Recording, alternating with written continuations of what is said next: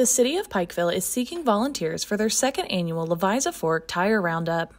The roundup will kick off at 9 a.m. August 24th, and lunch will be provided. Last year, we decided to do um, our first ever real tire clown cleanup in the city, um, and it did very well. We got several hundred tires out of the Levisa Fork um, right here in the downtown area. Um, and this year we're doing it again with some great partners like um, the University of Pikeville.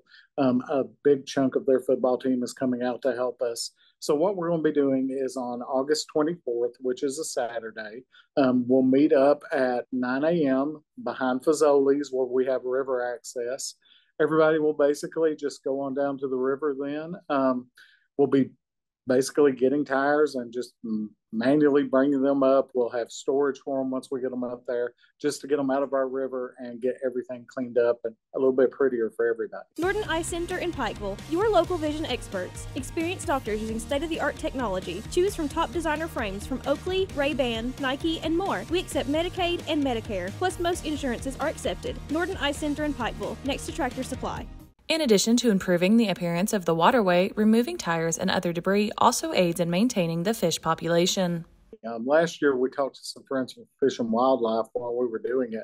And one thing that had never dawned on me um, a lot of the local fish um, just don't like those tires. Um, they're in the way, and it's caused the population of fish to start disappearing.